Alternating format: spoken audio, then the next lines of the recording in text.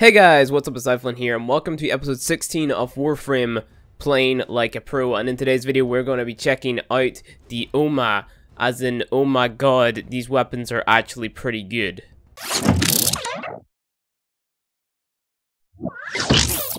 So this is how I'm going to do it guys, whenever a new weapon or a new frame or something comes out, I will be releasing it in the Play Like a Pro series with the optimal build I guess, because whenever I post a first look video, even though it says in the title of the video, first look, and I show like a sort of a basic build, a lot of people like to get on my tail for not knowing the ins and outs of every single frame before I post the video.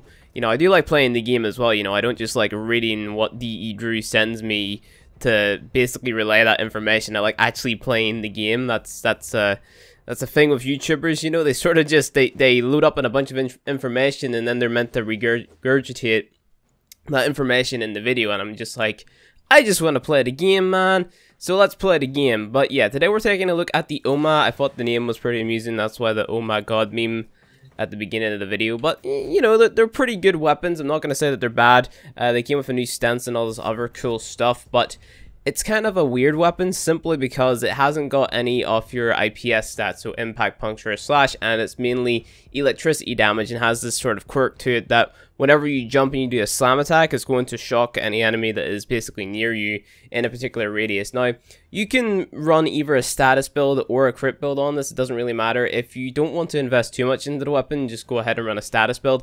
I still invest uh, one form into the weapon anyway, or I suggest investing one form into the weapon anyway, simply because then it gives you the opportunity to run both, right? Because you already get a V polarity and a dash polarity already installed in the weapon, which is pretty good. So Whenever you're building for crit, it's basically your uh, Blood Rush body count combo that you'd be running here. So you, you put, I would change this here around actually. So I changed Berserker with Blood Rush and then you put your two uh, most costly mods in your V polarity. So your Prime Pressure Point max rank and your Blood Rush there. And then you basically mod for crit. So Organ Shatter, True Steel, Body Count, Blood Rush, Berserker for all your crit. Uh, Prime Pressure Point for your damage of course.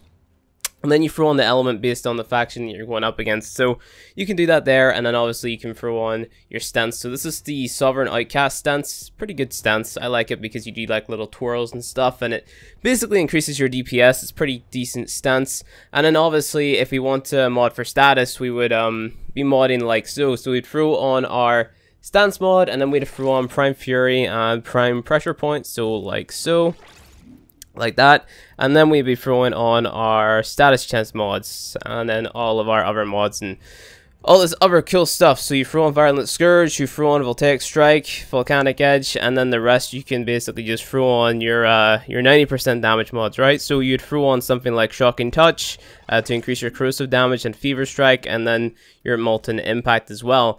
Now, originally I thought this weapon was going to be a uh, impact weapon. I was actually expecting that, like a sort of balance between impact, uh, maybe a little less in the puncture side and a little less in the slash side, and then having a decent status chance and crit chance, making it kind of like the the Marelok or the Vaykor Marelok off your um off your melee weapons or your your uh Astilettos as well. You know that they're they're pretty balanced weapons in terms of stats.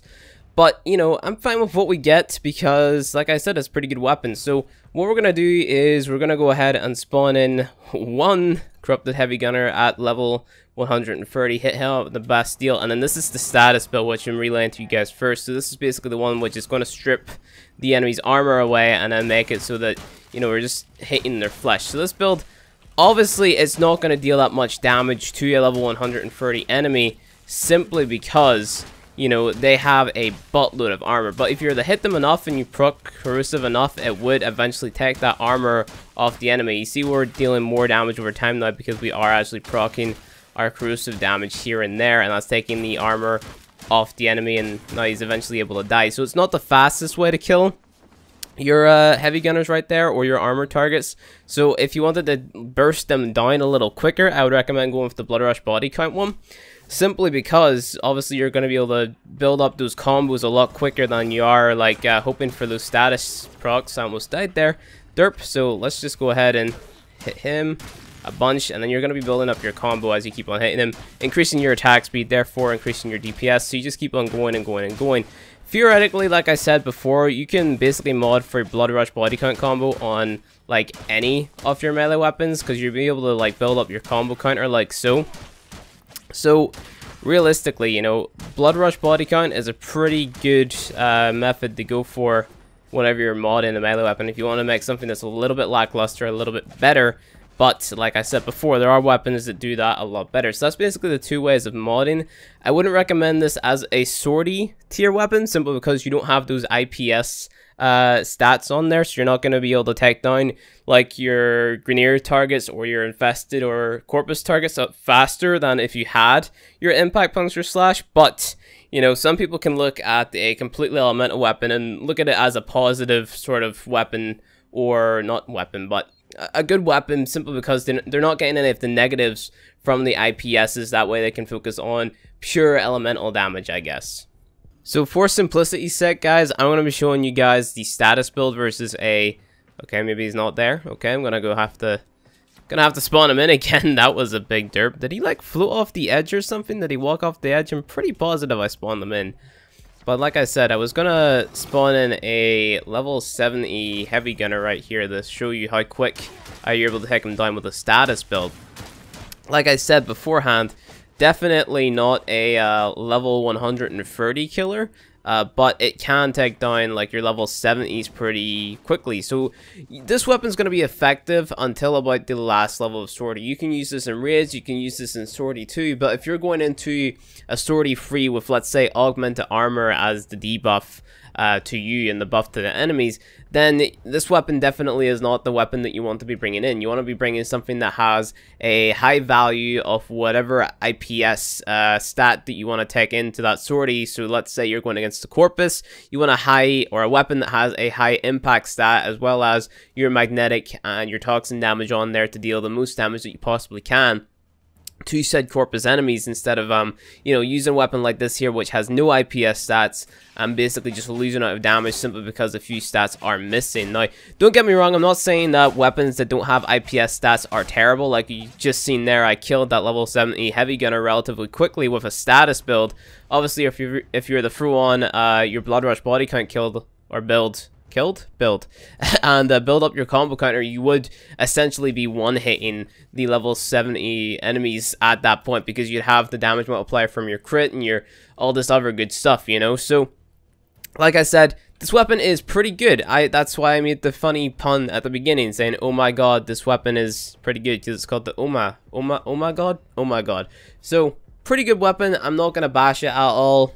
Uh, I like it. The only gripe that I really have with it is Looks kind of like an impact weapon, I'm not gonna lie. I thought whenever I originally seen this in the dev streams that it was gonna be an impact weapon, but turns out it's basically just massive tasers that you're holding, so yeah, there's that. Oh, oh yeah, I forgot to show off the uh, the jump and the stun, so let's do that versus a bunch of butchers. We'll spawn in about 10 butchers or something.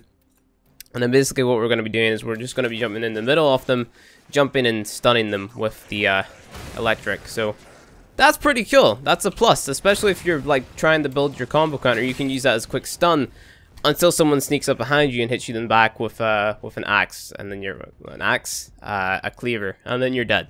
So anyway, guys, that is going to be it for this episode of playing like a pro. If you enjoyed it, please hit the like button below, and you want to see more Warframe content from me. Hit subscribe. I'll see you guys tomorrow at 6 p.m. at UK time. And I'm also going to apologize for this video being late because it's currently uh, 40 minutes until 6. So yeah. Crap. I'm gonna have to edit and export and upload this video. So, uh, wish me luck, guys. If this isn't up by 6, I apologize.